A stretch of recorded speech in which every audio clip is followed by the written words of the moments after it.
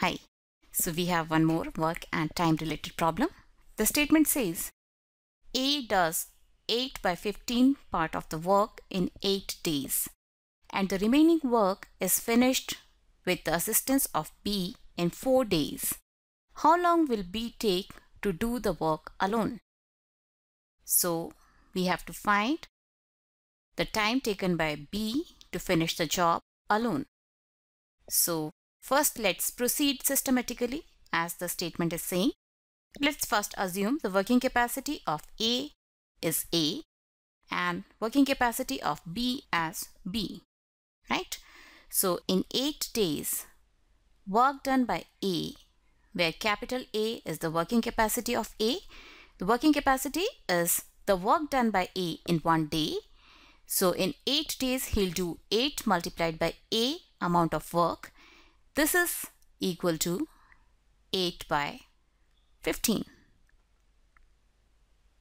Right? Yes. And if we divide both sides by 8, we will get A is equal to 1 by 15. Right? Yes.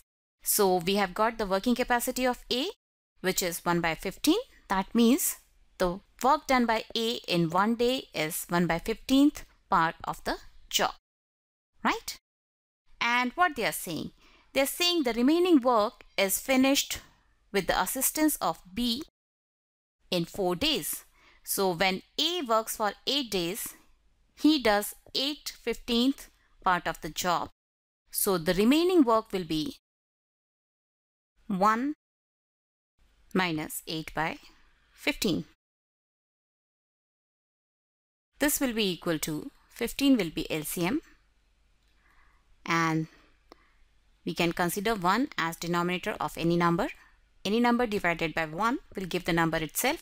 So 15 divided by 1 is 15. 15 multiplied by 1 is 15 minus 15 divided by 15 is 1. 1 multiplied by 8 is 8. So this will be equal to 7 by 15. 7 by 15 part of the work is still remaining, right? And and what they say? They say that A and B together, if they work for 4 days, they will finish this job. So that means 4 times A plus B, they are able to do this remaining job, which is 7 by 15, right? Or from here, we will get A plus B is equal to 7 by 15 multiplied by 4. This is equal to 7 by 60. Right? Yes. And what is the working capacity of A? Working capacity of A is 1 by 15 from equation number 1. Right? So if I substitute that over here, we will get 1 by 15 plus B is equal to 7 by 60